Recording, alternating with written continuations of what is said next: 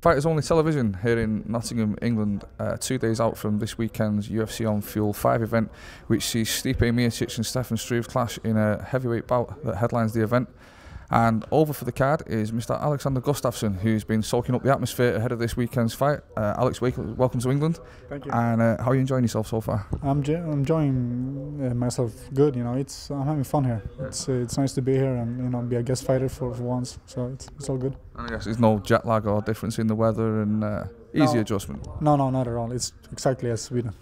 You spend a lot of time in San Diego as well at Team Alliance, right? Uh, yes, I do. Yes, I go there when I, you know, in lots of preparations in camp and stuff. So. Yeah. Well, the north of England is very similar to San Diego. Lots of sun and beautiful people. So yeah, I noticed. Just that. the same. Yeah, yeah. I, I, noticed. Yeah. Really nice. Let's nice uh, let's jump in.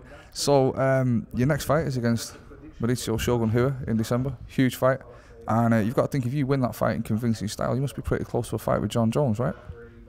I don't want to say too much, but you never know. You know, it's just take Shogun first, and let's see what happens.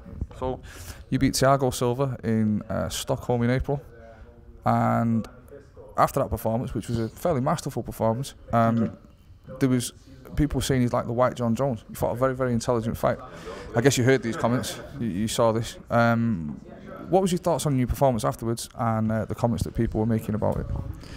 Uh, I'm very happy with my performance. Uh, you know, I, it went well, and uh, uh, of course, I did a few mistakes in the fight. You know, I got got punched, but uh, it's uh, you know, I went back to the office. You know, I, I, learned, I learned from my mistakes, and I tried to be a better Alex for every fight.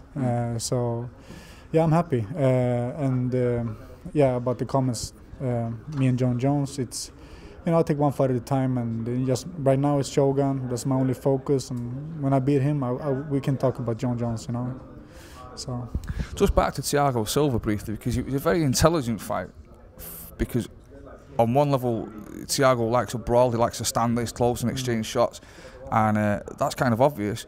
And it's an obvious thing to avoid, except that you're a young guy and you're fighting on the first ever UFC Sweden show. And I guess there was probably a big temptation to go, come on, then let's stand there and, you mm. know, but you had to make yourself fight at distance and yeah. keep moving, right?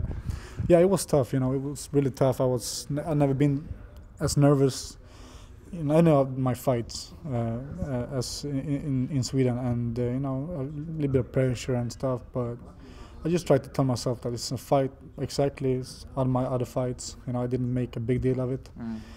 And I've been, you know, for me, game plan is everything. You know, I, I am always in conditioning. I'm always working hard, and uh, game plan is something I, I try to stay, you know, to, to in the fight, no matter what happens. You know, I just stay stay with the game plan. So that, that was my only focus. You know, I heard my instruction from my coaches, and it went well. Mm. Now, for me, I would say the fight was very one-sided, uh, almost to the point that you basically outclassed Thiago. Did you expect that in advance, or was it a surprise to you that you were so dominant? Uh, no, you know it's MMA. You never know what happens, and you know I know Thiago is a really tough guy, and uh, I was prepared for everything. But I, I, noticed in the fight that my game plan worked, and you know I just stuck to it. Mm. So now we move into this fight with Shogun in December very tough guy, legend in the sport. I guess you probably watched him in the Pride FC days and stuff. You've grown sure. up watching, right? So you're uh, you're fighting somebody you've been a fan of, and in some ways he's similar to Thiago Silva. He's going to give you a lot of forward pressure. Again, he likes to stand right in front of you and throw the big bombs. So I guess the approach might be similar to the one you took with Thiago. Mm. Yeah, you know. uh, in such in in a few, few of their techniques are about the same you know low kicks and and they like to throw bombs but you know it's still another fighter and uh, Shogun is, is a legend and uh, he got some tricks he's a good double leg he, you know he, he he's tricky so it's and he has heart he has good heart and a good chin so I have to be ready for everything uh, you know it's I have to be prepared and I have to it, it's a it's a good fight for me and for me it's it's uh, I, I prove my I would prove myself to I want to be at the top top of my division and this is the, the right fight so. Mm. Well, just run me through. How old are you right now? You're uh, 25. 25, and did you were you watching Shogun in Pride sort of before you started fighting professionally? Oh yeah, yeah. yeah. I, have been watching Shogun since I was a kid. And, uh, just Shogun, uh, I saw a lot of fighters in Pride, but Shogun for me was uh, an idol because he, he I like his fighting style. Mm. You know, he goes into to, give a defense a show, and you know he you go into to finish, and you know that's that's what I like to do. And uh, yeah, he's been, he, I looked up to him for a long time, and now now I'm there myself. So Now you're going to be looking across at him. This is the thing. Like, do you think you might find it a little bit surreal, strange when the referee brings you together and you kind of, hmm. wow, that's Shogun. yeah, no, not at all. You know, I, I, you know I've been I've been, been through some some wars too, and you know I, I think I belong there. Hmm. So. You know, I'm just happy. It's an honor for me to stand there with him. So it's, it's I will do my best, and I will be prepared for him. Cool. Okay. A little bit more Jon Jones talk to finish off, just because he's uh, the top of the division and uh, probably the number one fighter in the sport right now. You watched his fight with Vitor Belfort. I didn't watch it. Really? But- no, but I saw a highlight and, and read about it and so on. Right. Okay. Hmm. So, did you see, obviously the armbar moment Yeah, you yeah, saw, which was uh, an impressive display of heart, Mm. was it not? Yeah, he was, yeah, yeah. You know, he's a champ for a reason. He's, you know, he's the best one now. So, I just, I just hope he, he keeps he keeps the belt to, to can take it from him. So.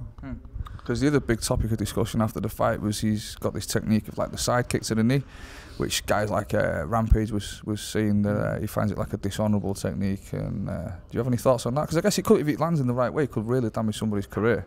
Yeah, of course, yeah. It's MMA, you know. He do what it, what, what it, you know. Cho- Jon Jones does what he, what he needs to do to, to win the fight, and I don't blame him. Mm. You know, if, if, if uh, you know, you know, if I get a chance to, to use technique to, to win the fight, I will do it too. So it, it's a fight, you know. It's, you know, it's all about winning, winning the fight.